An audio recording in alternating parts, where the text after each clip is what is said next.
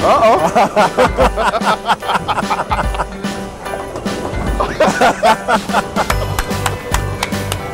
High five.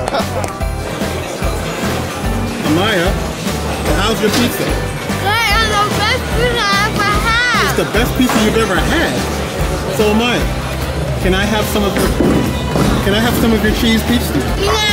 Why not? You, you have pepperoni. I want some of your pizza. Can I have some?